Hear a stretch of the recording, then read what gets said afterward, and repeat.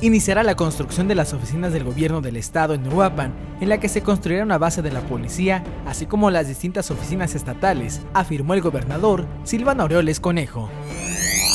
El Frente Frío número 11 se extenderá este miércoles en el Golfo de México y mantendrá un ambiente muy frío durante la mañana y la noche en gran parte del territorio michoacano, informó el Servicio Meteorológico Nacional.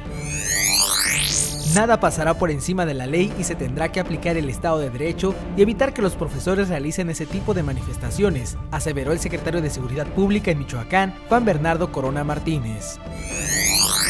La Secretaría de Seguridad Pública Estatal implementó este miércoles un operativo a fin de evitar el bloqueo de vías de comunicación, tanto terrestres como férreas, tras el anuncio de movilizaciones por parte de la Coordinadora Nacional de Trabajadores de la Educación.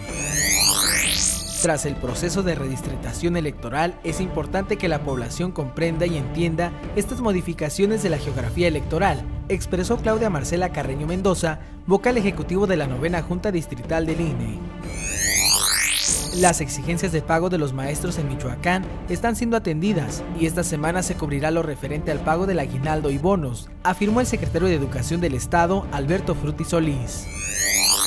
La Dirección de Tránsito y Vialidad Municipal continúa con la dotación de reglamentos a los conductores de vehículos y motociclistas. Esto con la finalidad de que conozcan el reglamento a la perfección y no se sorprendan al ser infraccionados por cometer alguna falta, señaló el director Rubén Baltasar.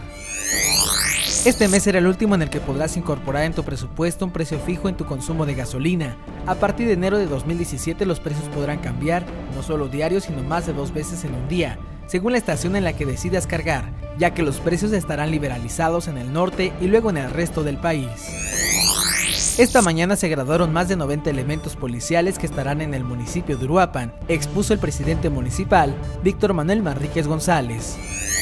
Personal de la delegación Tlalpan inició la demolición de dos de las tres casas campestres construidas en un área natural de la Jusco que pertenecían a los perredistas Carlos Hernández Mirón, actual diputado federal, y Eloy Fuentes, exoperador financiero del exdelegado tlalpense, Higinio Chávez García. Tus comentarios y sugerencias son importantes para nosotros. Búscanos en Facebook y Twitter y no olvides suscribirte a nuestro canal. Noticiero CD.